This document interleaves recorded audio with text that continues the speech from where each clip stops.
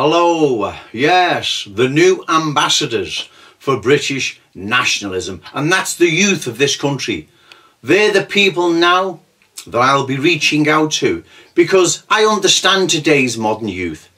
They remind me of a bit of myself when I was 16, 17 and getting into all types of trouble with the police, stealing cars, up to all types, had my mum and dad up the wall. And then I found British nationalism in the form of the once mighty National Front.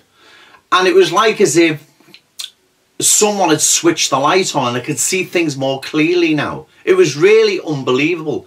It was a real, true awakening. I understood the mess I was in and why. And British nationalism from that day, 1978, I was 17, I just left school. It's been a life buoy for me and it's saved me in many uh, tough and difficult situations where I could have went under. And British nationalism has been like a life buoy that's kept me afloat. And I'm here today now because of British nationalism and the late great John Tyndall. So the British youth of today, you find yourself lost and confused. You're sitting in back rooms or wherever smoking pot all day, getting more depressed. You're in gangs. You're riding round on scrambler motorbikes, annoying the community. Your parents, if you've got parents, are arguing, or maybe they're drinking, or maybe they're on drugs. And you see the whole lot as so confusing so messed up you just want to give in and express your anger on society and good decent people. Well, let me tell you, I was the same. But the way to do this now is to become a British nationalist. Read John Tyndall's book, The 11th Hour. I've just been looking for it. I can't find it. I must have lent that out. I'll have to hunt that down and get that back. That's an excellent book. I've probably lent that out somewhere because I can't find it. Uh, I've been looking high and low all last night after my last video. But read John Tyndall. I'll leave the link below. Leave John, read John Tyndall's book, The 11th Hour, because we're in the 11th hour. And only you, the British youth, on our side, on the side of British nationalism, can now save our beloved Great Britain. We are really, truly in the 11th hour. Not when John Tyndall wrote that in 1986. We are now living in the 11th hour. It's endgame and it's rapidly approaching quicker than we could all ever imagine. I remember when I first read a lot of books and a lot of uh, magazines, papers, British nationalism and nationalism around the world and it predicted what was going to happen. I could never envisage that that was ever, that day was ever going to arrive and it's here now. London is a classic example of civilization now collapsing before our very eyes. So the youth of Britain, my plea to you is to uh, rid yourself of all the destructiveness, all the negativeness. Stop hanging around in gangs. Stop riding around on scrambler bikes. Stop smoking pot, getting more depressed.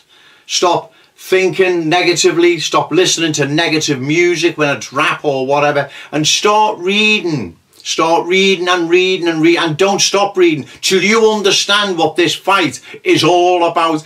Then you'll have something to live and die for because when you get up of a morning, if you don't have something to live for, then what is life worth getting up for? But to accompany that, you have to have something worth dying for. Your family, what you believe in, your country, but more importantly, I believe, is British nationalism and the saviour and rebirth of our once beloved Great Britain.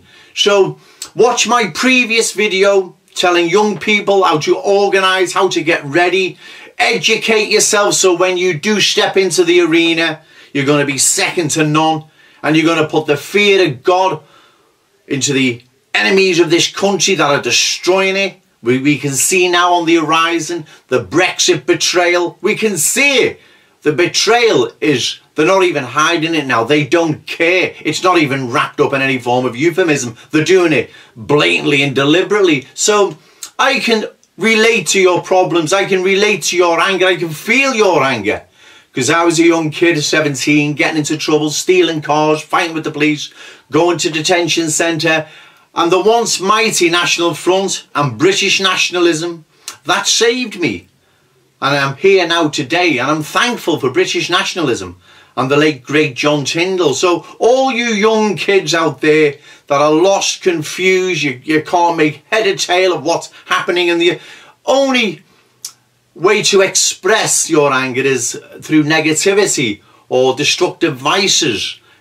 Break free from them. Start reading. Some of the books behind me are worth reading, but one in particular is definitely John Tyndall's The 11th Hour. Uh, I'll leave the Amazon link below. And that will give you an understanding and probably help you see why you're in the mess you're in today. Your parents are in the mess today because of endless uh, politicians, past and present, that have destroyed the will to live. It's been replaced by materialism, selfishness, diversity, multiculturalism and political correctness. Also educate yourself about our great British history. Drake, Nelson, Cook, the list is endless. There was a Sinn Féin guy made a comment about the Union Jack is like a butcher's apron. That's right, because we were good at our job. We left these isles and we were conquerors, we were explorers. We opened up the new world and we've got nothing to be ashamed of and I'll never apologise. They were great men, great times. I wish they were here now. Educate yourself in our history and then prepare yourself for the, you're going to be the new ambassadors for British nationalism. Okay, thank you.